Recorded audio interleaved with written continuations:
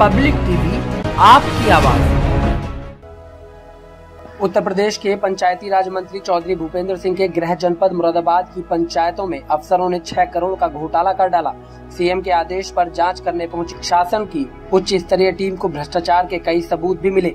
पाँच सदस्यीय दल का नेतृत्व पंचायती राज विभाग के विशेष सचिव शाहिद मंजर अब्बास रिजवी ने किया।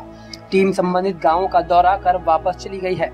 दरअसल पंचायती राज मंत्री चौधरी भूपेंद्र सिंह के गृह जनपद में पंचायतों की निधि में बड़े पैमाने पर अनियमितताएँ सामने आई हैं। मुरादाबाद पहुँची टीम को जाँच में कुछ काम ऐसे हैं जो रिकॉर्ड पर तो दिखाए गए, लेकिन मौके पर नहीं मिले। ये घोटाला जनवरी से मई 2021 के बीच पाँच महीने का है। कार्यकाल पूरा होने पर 2020 में ग्राम प्रधानों से अधिकार लेकर ग्राम पंचायतों के प्रशासनिक और वित्तीय अधिकार प्रशासकों को दिए गए थे। ज़्यादातर जगहों पर एडीओ पंचायत को ग्राम पंचायतों का प्रशासक नियुक्त किया गया था। इसी दौरान एडीओ पंचायत और ग्राम पंचायत सेक्रेटरी ने मिलकर विकास कार्यों की फर्जी रिपोर्ट भी तैयार की थी, जिसके आधार पर सरकारी खजाने से रकम निकाली गई।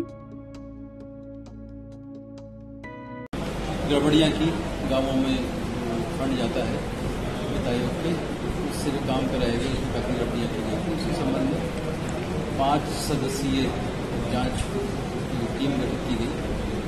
उसी के संबंध में हम लोगों ने यहाँ जाँच की है कार्रवाई पूरी हो गई है।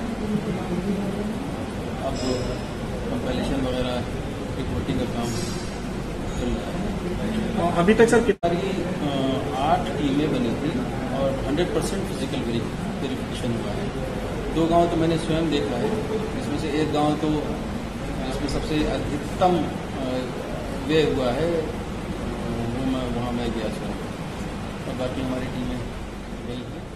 नहीं माने मुख्यमंत्री जी के निर्देश पर उसकी जाँच के लिए एक टीम बनी है और मुझे लगता है टीम आकर स्थलीय निरीक्षण करके अपनी रिपोर्ट देगी और रिपोर्ट के आधार पर जो लोग दोषी होंगे उनके खिलाफ कार्रवाई की जाएगी।